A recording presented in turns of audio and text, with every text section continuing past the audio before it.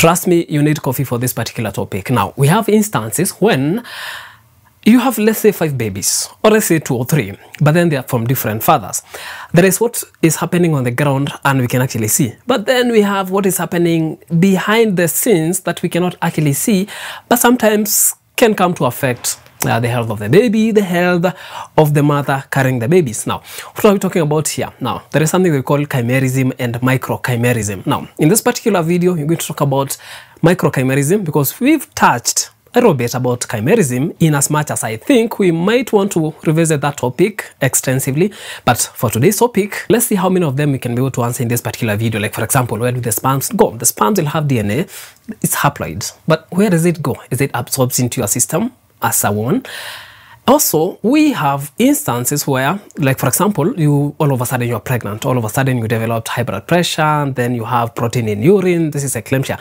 And when you go to your doctor, they ask if you have other babies that are coming from different fathers, in as much as maybe it was a miscarriage or maybe it was termination of pregnancy from a father who is different from the father of the baby that you're currently carrying. Also, in those five babies that are coming from the different fathers, maybe they are two, maybe they are three, apart from uh, the common ground that they share the same mother, do we have anything they have in common? Because sometimes they can share cells within themselves which is interesting because sometimes they can contribute to autoimmune conditions, some other things we're going to see later on. I know this is going to be quite interesting and on your way to go and grab a cup of coffee, counter check if you have subscribed to the channel. And by the way, thank you very much. We are at 100k subscribers and um, I'm going to do something about that very soon. I'll make a video to introduce myself and some other things. You'll see that in that video, so make sure you're subscribed and also like it, like the video, and you can tell me in the comment region what experience you've had about microchimerism or chimerism, because this one is going to, I know, blow your mind. I know you have your coffee.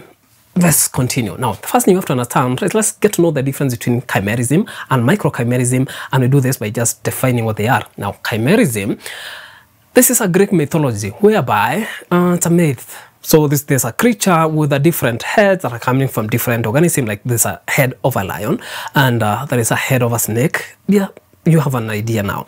Now coming to science, it's not going to be the heads. Now this is going to be genetical information because we've had instances where you are a whole human being that we can see, but you have two genetical information that is distinct and from completely different individuals. And you might ask how this might happen. Now, we have instances that are speculated to, to cause this condition, like, for example, vanishing twin syndrome, whereby yeah, you got pregnant, but then one of the twins swallowed.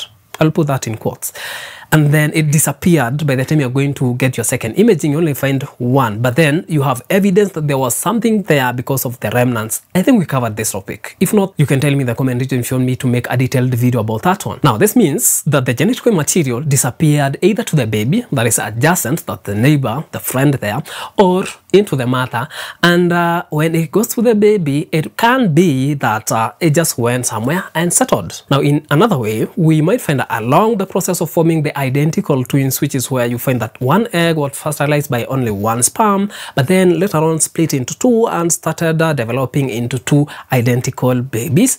Now during that time when it's uh, splitting there was no complete splitting of the egg, meaning that the genetic material either was absorbed and remained in one of that baby, or I'm sure you've seen people with two heads, like uh, it's one baby, so one person, but then there are two. Now imagine a scenario where now that process happened, but now it's internal. You cannot be able to see it, but it's inside there. I'll give you an example, like the ovaries or the reproductive system came from the other twin and it's inside this person, meaning that the eggs will come from the baby that disappeared, meaning that it will be fertilized. I'm sure you've heard about this case whereby a mother gave birth to a baby and they're 100% sure that this baby was theirs, but then when they conduct a DNA test on them, it's not. But then the father is matching with the baby, meaning that he's a father. So to some extent, you might think that uh, the baby was switched in the hospital, but then the DNA of the father is matching. So it turns out that it was a case of chimerism, whereby the reproductive system came from a different baby, meaning that the genetic material was contributed by the baby or the twin that disappeared. I know, it's quite interesting. But then this is a topic for another day. Let's tackle this microchimerism. Now we have instances where you find that you have foreign cells inside your body that are not originally yours. So they came from another foreign person, came to your system, your immune system never cleared that and it's existing and we have lineages of those cells that are there living inside you and they've been speculated to cause several issues or benefits, we are not sure yet.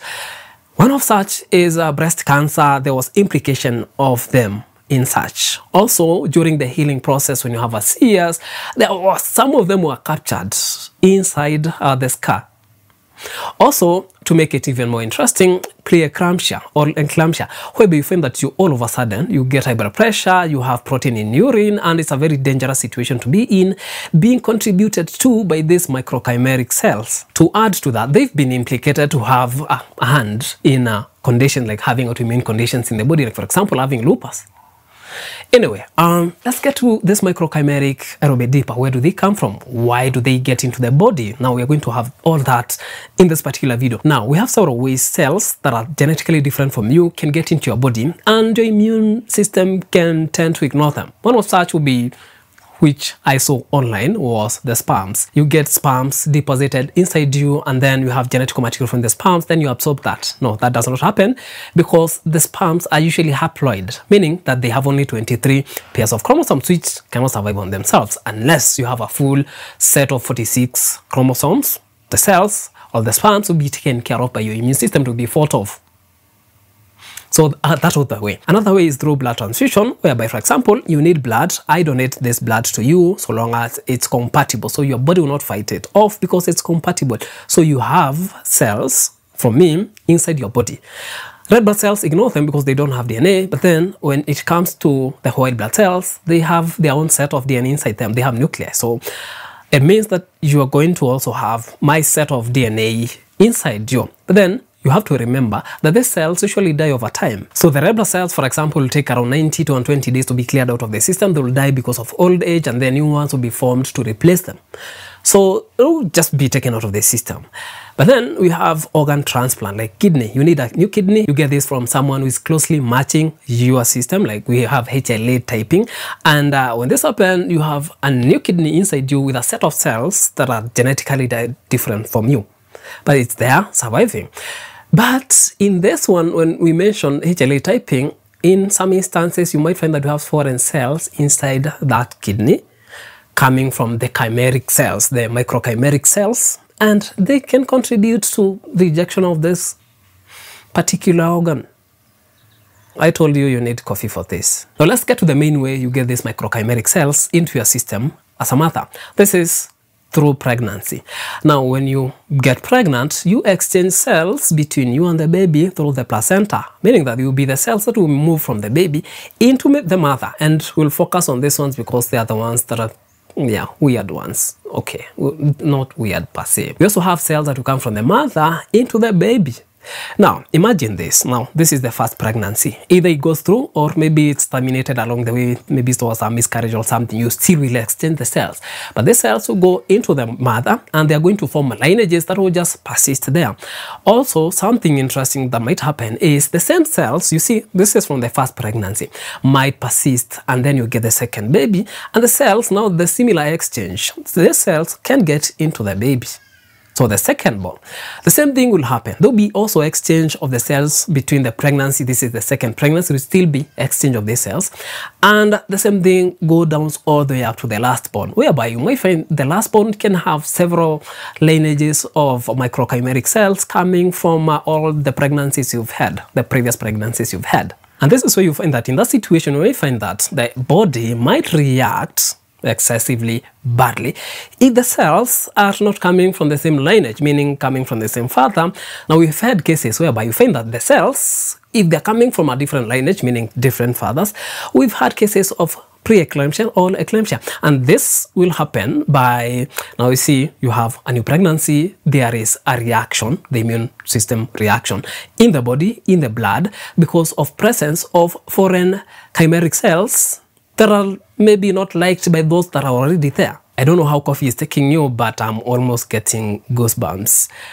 You can see now where we are headed. Now, we had cases whereby you find that before or when you're getting that situation, it's quite dangerous.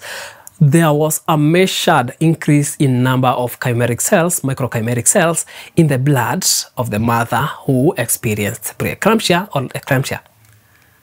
Meaning there is a relationship between these two things. Now, before you go to the bads and the goods of the microchimeric cells in the body that's in the mother and in the baby, how do we get to know? How do I get to test and know that you have those microchimeric cells in you, in your system?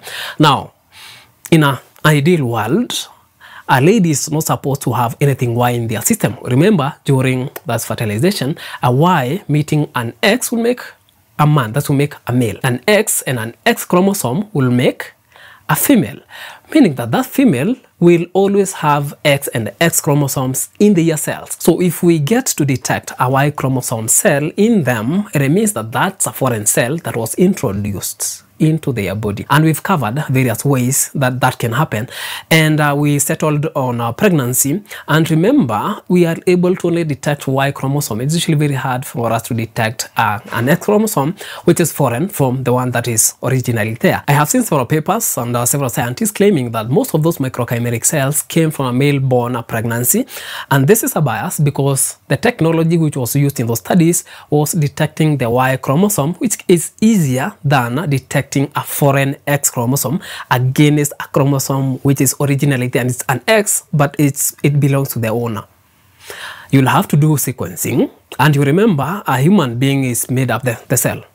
The human genome is made up of around 6 billion base pairs, which is quite expensive to do.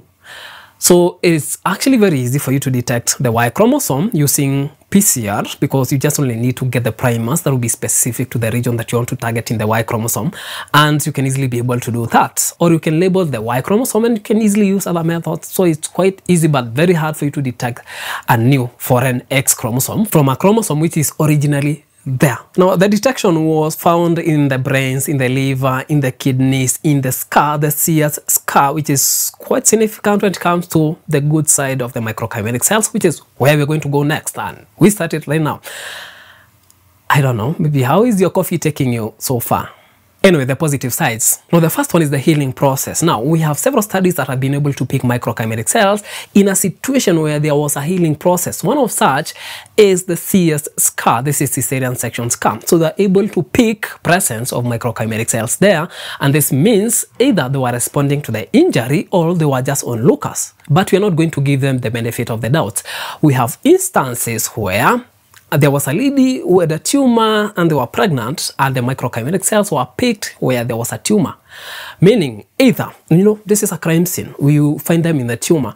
Meaning either they were here to respond and help in the healing process or they were the bad ones, the bad guys, so contributing to the tumor or they were just innocent onlookers. Now, this is a crime scene. You go and find someone there. It's usually very hard for you to know whether this is a criminal or just a bystander or just someone who's just curious. Unless in the future we get mechanisms and technology that can be able to tell us exactly what's going on here we are still kind of in the dark. Another positive thing, which is a theory, is now this baby is leaving instructions inside the mother to tell the mother that now you have a baby and you might want to allocate resources, like for example, during the lactation, for the survival of that baby. So we have speculations when we find the microchimeric cells in the brains that they were there to remind the mother that you have a baby. And kind of like this is the reason why they have a certain kind of unusual bond between the baby and the mother. Maybe there is instructions that were left in the brains due to the presence of those microchimeric cells in the brains. Speculations. Now let's go to the negative side. Now remember we mentioned eclampsia and pre-eclampsia conditions where we find that you show up to a hospital with um, high blood pressure and also protein in urine. And your doctor might ask you if you have pregnancies from uh, different fathers. So we have studies that were able to pick an increase in uh, microchimeric cells in such a situation where you have high blood pressure when you're pregnant. We don't have concrete evidence yet, but in the future, we might be able to narrow down to exactly the relationship between microchimeric cells and this condition here, because it might be the immune system is responding to foreign cells that are being introduced into the system, because remember we said there is exchange of the cells between the mother and the baby, and the cells coming from the baby getting to the mother, and the microchimeric cells that are already there existing might find it odd that they are not coming from the same lineage, so they might create an immune response that will create this condition here. We also have autoimmune conditions like lupus and also multiple sclerosis. Now, let's go to multiple sclerosis because this is quite interesting. Now, remember we said the cells can go all the way to the brains. Part of that can be the baby left the instruction for its existence outside the body so that the mother cannot, eh, I don't know, it's interesting to know. You you need a strong cup of coffee for this one. Now, those cells remained there because even from the studies that I went through, they were able to detect those cells inside the brains. And it means that they are still there. Now imagine now in the second pregnancy, you introduce new cells coming from a different lineage and then they go to the brain and they find similar things there. So the body might not be happy about that. So because they're attaching themselves to the brains, so you find that there is an immune response which is fighting the brain tissues. So you end up with a multiple sclerosis. Graft versus host reactions. Now, you might be in a situation where you need a new kidney or maybe blood or just a tissue from another person. And then you get that it's inserted into your body, but then it's coming with microchimeric cells, or you have your own microchimeric cells that will come and there is a fight. We have studies that have been able to isolate that in such kind of a scenario. So it's quite interesting to learn about that. And also, it's quite also interesting for us to dig deeper into this rabbit hole for us to understand if the microchimeric cells are the good guys or the bad guys. If they are the good guys, we can be able to use them to locate where you have a tumor or help in the healing process in anyone in the body. Or we can get to know exactly why eclampsia is happening and the relationship between the rise in the microchimeric cells and the episode of a eclampsia. So until then, I think it's good to stick to one partner to stop complicating so many things. Get, let's say, 20 babies from the same person. It's more beneficial than getting 20 babies from different fathers. It's quite interesting to dig deep into this rabbit hole, which I'm willing to go. I'll dig deeper and deeper and deeper. And uh, yeah, we're going to learn about this. Let me know if you want me to make a video about chimera, because that's also another interesting topic we can cover. See you in the next video and make sure you subscribe.